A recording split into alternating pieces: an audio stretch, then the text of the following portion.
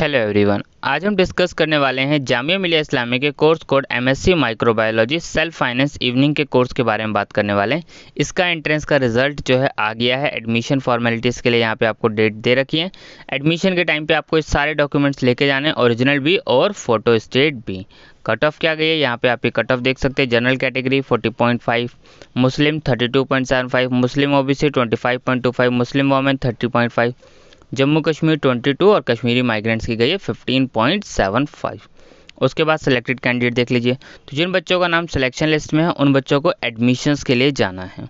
और जिन बच्चों का नाम सिलेक्शन लिस्ट में नहीं है, उन बच्चों को वेट करना है, जिन बच्चों का नाम वेटिंग लिस्ट में तो नेक्स्ट लिस्ट जो आएगी, उसमें कैंडिडेट सेलेक्ट की जाएँगी वेटिंग लिस्ट से।